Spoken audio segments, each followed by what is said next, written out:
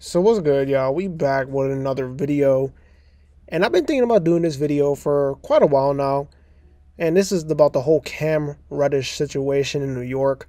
Obviously, Reddish got traded to the Knicks back in January.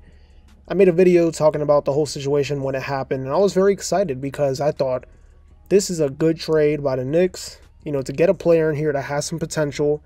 Didn't really get to show off his true potential in Atlanta with, with DeAndre Hunter being there and you know, with him dealing with injury as well. But I thought, okay, you know, he gets to the Knicks.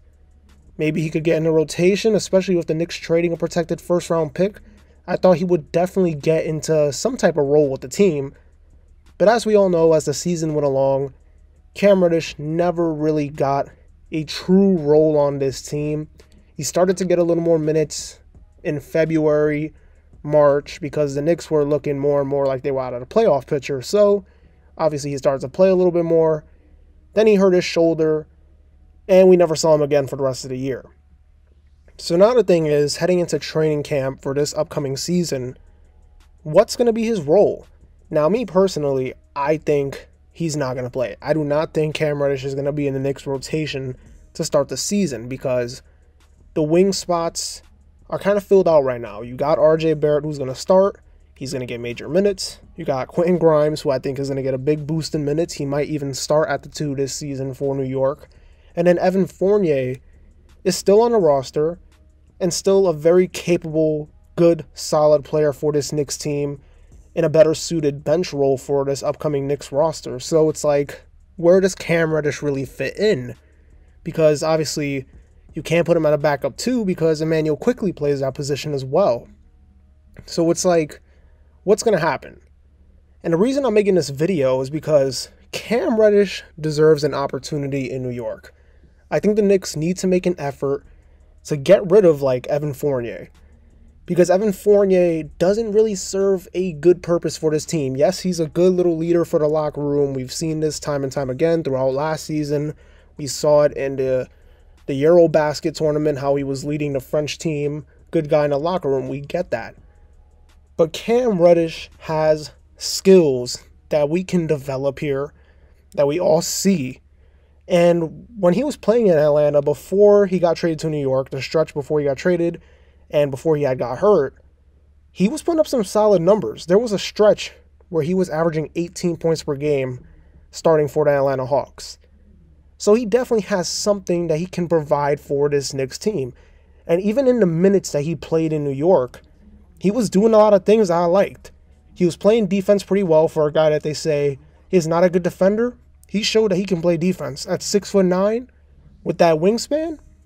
He was doing an exceptional job getting in the passing lanes, causing havoc on that end, getting a few steals. We saw, you know, he did a pretty good job. Offensively, the efficiency wasn't too great, but it's hard to get into a rhythm in limited minutes. But I think that'll go up as time goes on. But what I just like was the eye test. When I watched him play, he was easily the most athletic besides Obi Toppin and like Jericho Sims, where they got that vertical athleticism.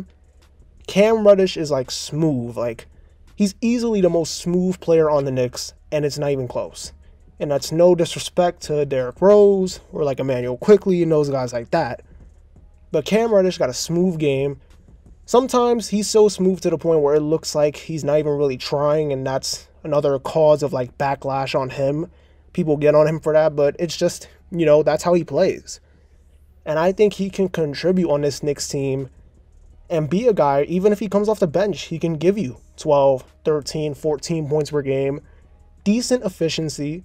I would like to see it go up a little bit.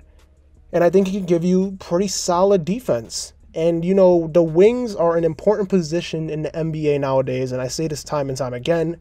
And when you got a guy like RJ Barrett, who looks like he can become a star for this franchise, Cam Reddish could play a vital role because he is still extremely young. They came out in the same draft class, they got chemistry.